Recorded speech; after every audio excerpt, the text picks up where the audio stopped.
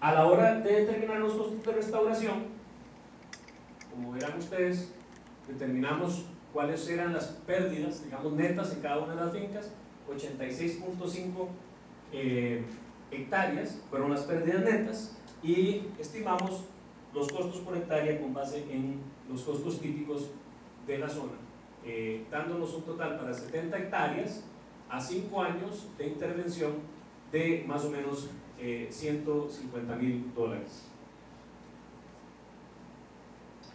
Esta información nosotros eh, la complementamos con fotografías aéreas.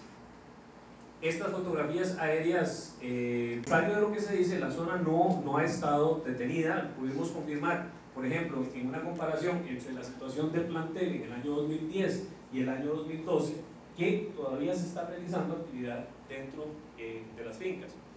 Entonces, de ahí que nosotros utilizamos estas fotos durante nuestra presentación para decir, bueno, esto demuestra que verdaderamente la actualización para ver la progresión de cómo ha avanzado el daño ambiental es necesaria.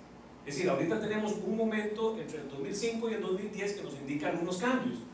Es bueno ver cuál es la progresión, aun y cuando sabemos que al 2010 los cambios de cobertura del suelo ya habían causado este daño. ¿Okay? Vemos aquí otra, otra vista.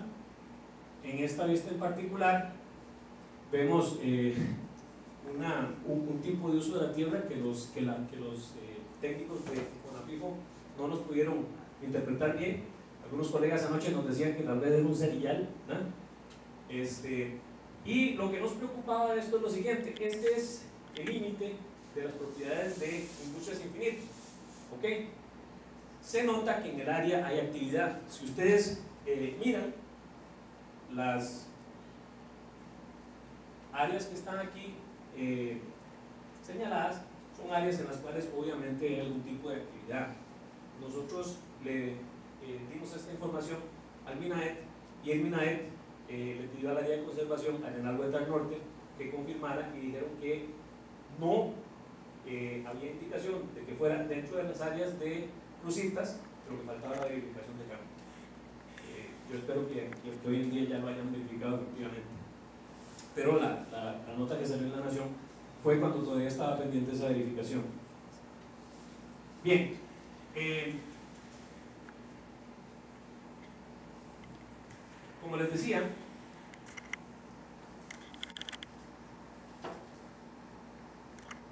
y la alta complejidad de el, eh, del conflicto, nosotros decidimos adoptar el rango que va entre el 1 y el 4% de descuento, es decir, un rango entre 673 mil dólares y 11.8 millones.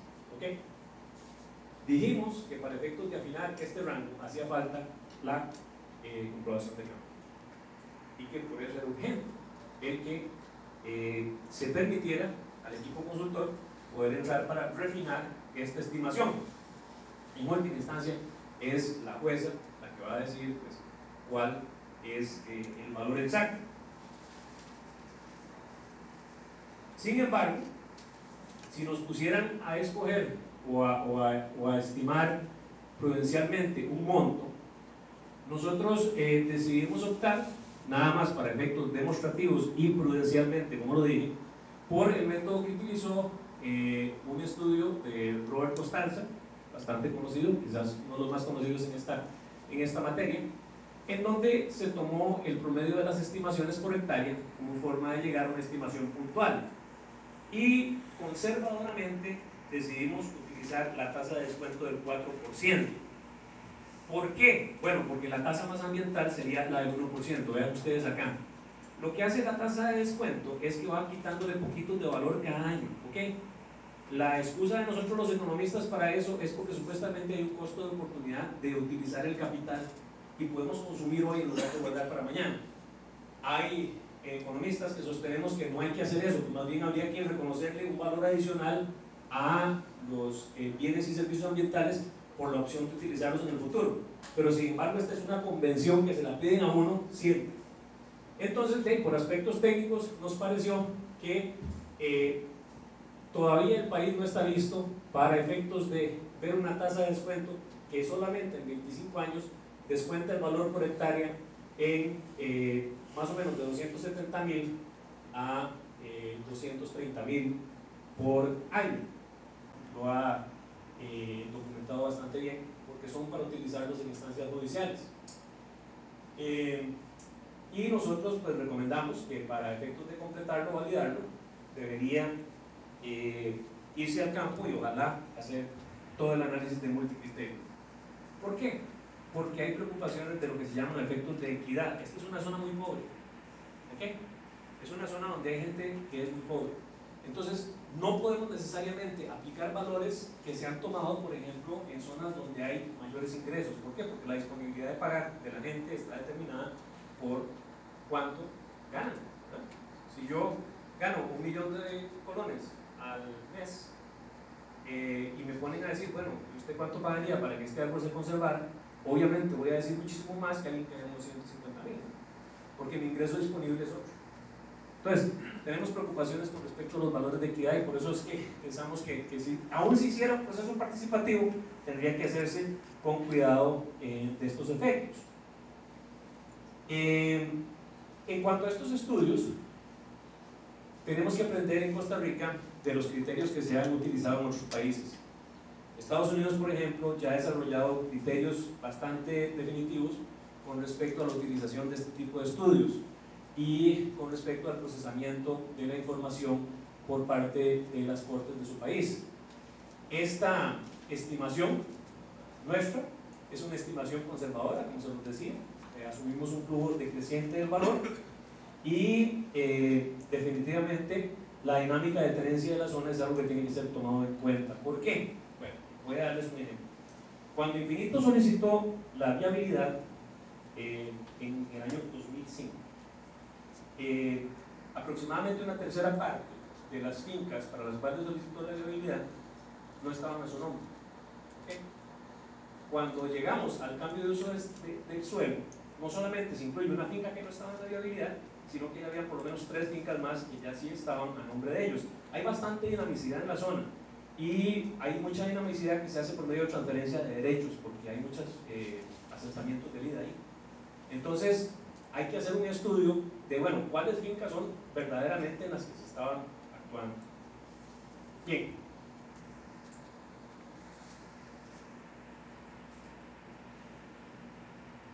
Nuestras conclusiones fueron que el valor del daño y la restauración eh, estaría en un rango entre 0.7 y 11.9 millones.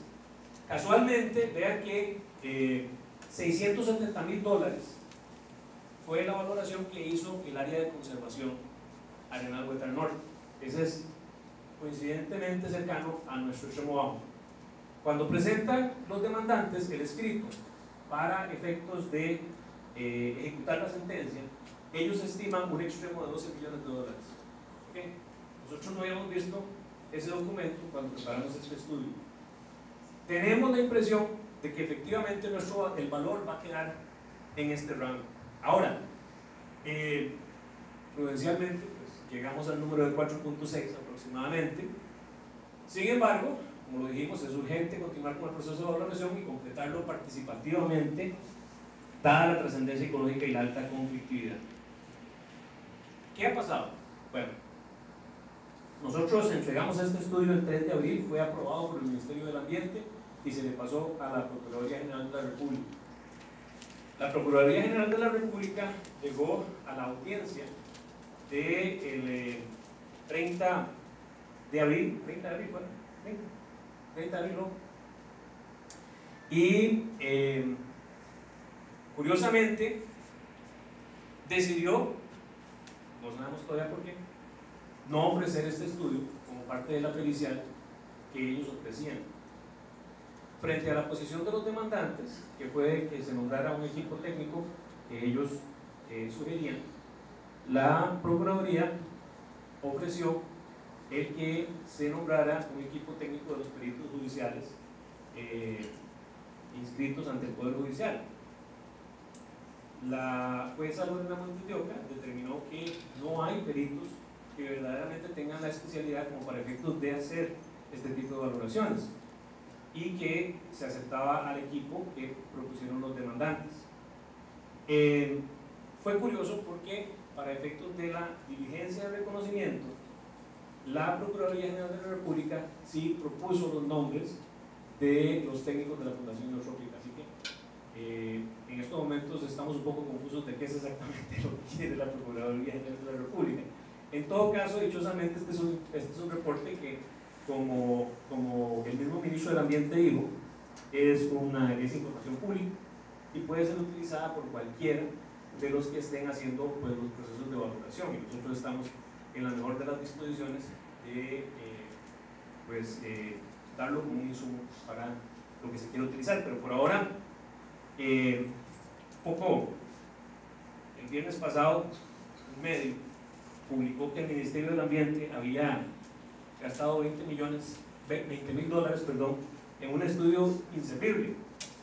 Este, no, el estudio efectivamente cumplió con lo que se pidió de él, era un estudio para la Procuraduría General de la República y eh, es un estudio pues, que nosotros estamos viendo a ver cómo, cómo sirve a los fines que nosotros nos planteamos, que es básicamente eh, que sea un insumo para efectos de esta discusión. Eh, me parece que, que, la pregunta con respecto a, bueno, ¿por qué no se presentó como prueba pericial, prueba técnica? Ya es algo que corresponde contestar a la Procuraduría General de la República nosotros todavía no nos hemos podido reunir, ni nos han llamado a reunir con la Procuraduría, así que no sabemos exactamente cuáles son las, las razones de fondo. Sabemos que eh, las solicitudes que nosotros le planteamos a la Procuraduría General de la República para entrar a la propiedad en su momento no fueron hechas al tribunal. Y eh, ello a pesar de que eh, el MINAER la solicitó.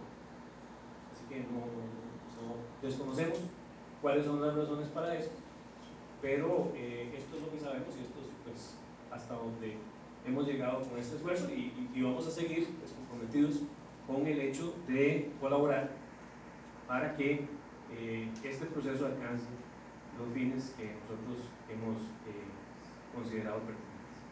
Muchas gracias.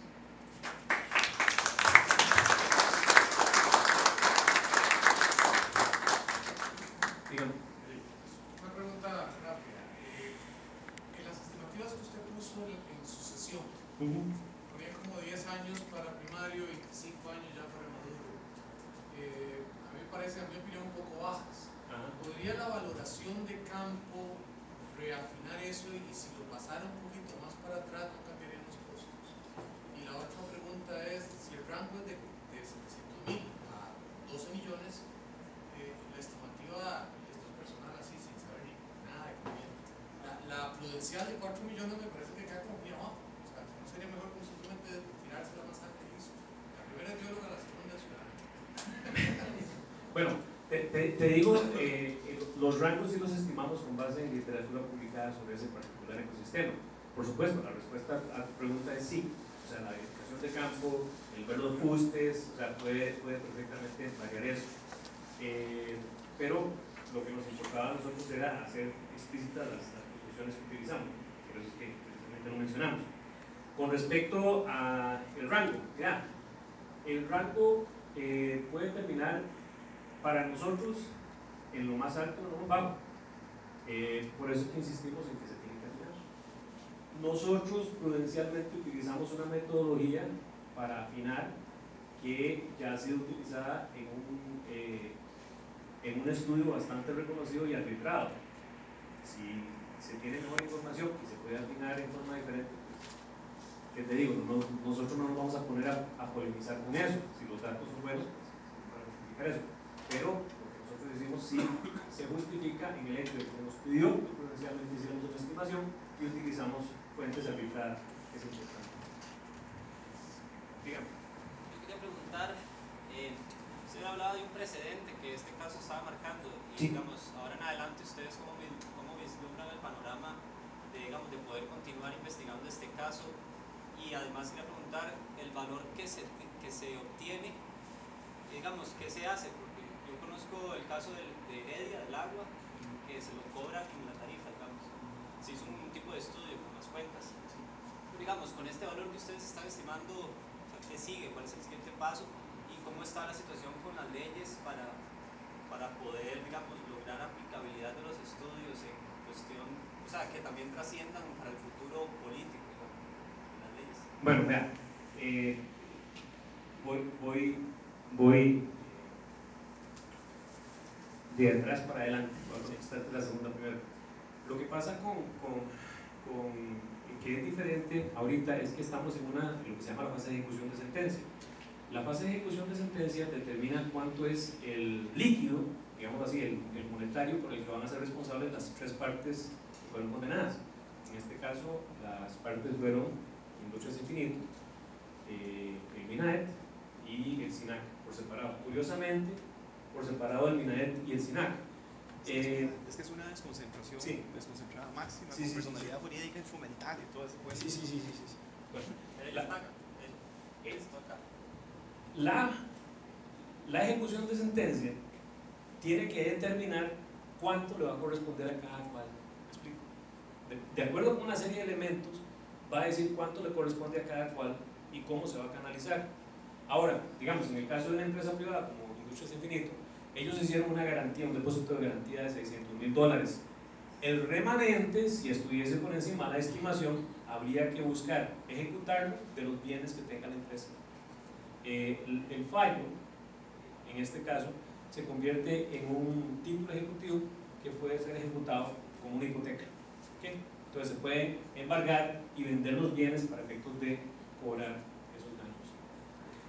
Con respecto a la primera, que si nosotros eh, estamos dispuestos a, a- continuar, sí, claro, no, no, si, si ahorita digamos nosotros no nos hemos quedado eh, quietos, más bien por esa razón es por la que estamos tratando de sensibilizar a la gente de lo que estamos haciendo y tenemos toda la disposición a, a- a colaborar con, con el proceso de valoración eh, hasta, hasta el final. Sí. Fernando, eh, ¿tiene, ¿tiene alguna valoración, por ejemplo, si, si la, la condena fuera por mucho más de lo, que, de lo que ustedes están estimando?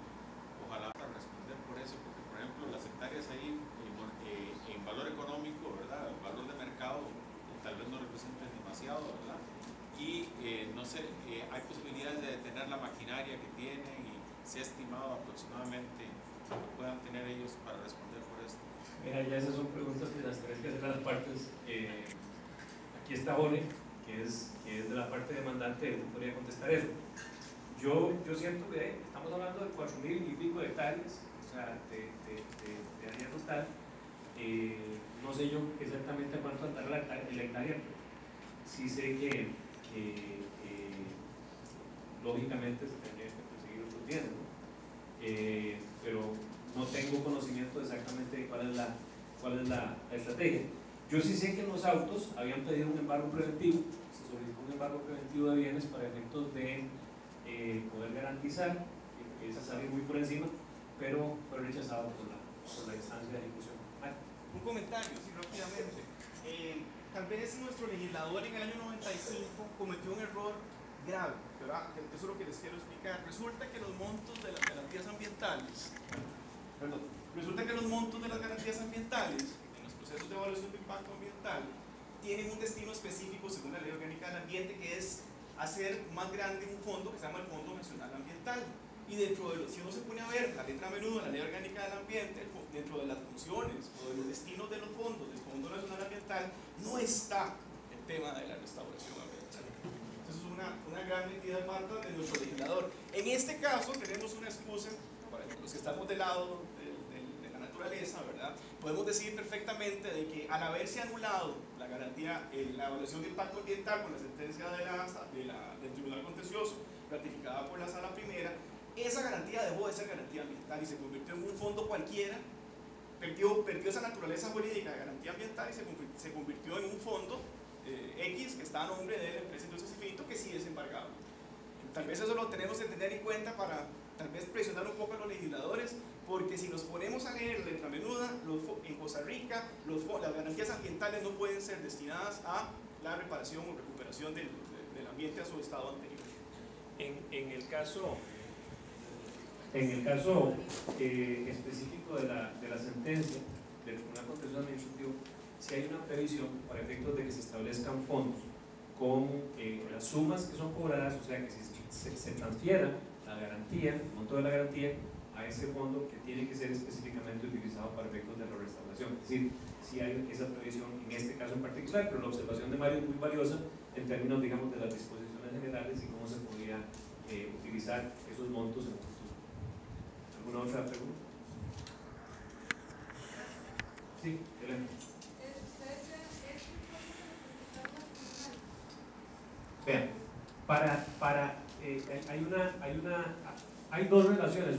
Una, es que los jueces conocen el derecho, pero también los jueces desconocen cualquier cosa que no esté pasando dentro de el. Entonces, la oportunidad de nosotros poder explicar este eh, reporte depende de que sea ofrecido como prueba. ¿Okay? La Procuraduría General de la República no lo ofreció como prueba dentro de la audiencia pública que se, hizo al respecto. Eso no sé por qué, pero sí sé que eh, esa era la oportunidad que nosotros hubiéramos tenido para, para eh, presentárselos a ellos. La alternativa sería que en algún momento fuese ofrecido como prueba para mejor resolver, dependiendo de que eh, la, la, juzgadora decide aceptarlo y en ese caso se podrían eh, presentar las, las, eh, se llaman? las consideraciones técnicas. Uno, uno de, los, de, los, de los asuntos curiosos, como te digo, es que si bien no se presentó el, el, reporte, sí se nos ofreció como asistentes técnicos en la gira que vamos a hacer el primero de junio. Y sí se nos pidieron nombres para efectos de ser testigos. Pero sin el sustento del reporte es, es, imposible poder hacer bien esa, tarea. Así que yo todavía no entiendo cuál es, qué es exactamente lo que quiere la Procuraduría eh, y no he tenido una reunión para, no hemos podido localizar a la, a la procuradora que está a cargo. Hoy estuvimos llamando todo el día y no se nos, no se todavía no se nos aclararon los nublados del día.